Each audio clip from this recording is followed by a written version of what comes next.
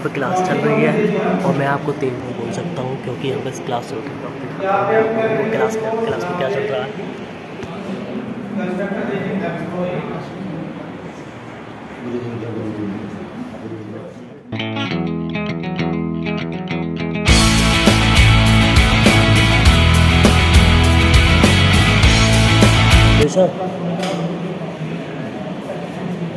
मैं अब हम आ जाते हैं लैब में। और यहाँ पे लैब में आने के बाद में सारे इंजीनियर्स मचाते हैं कोडिंग से भौकाल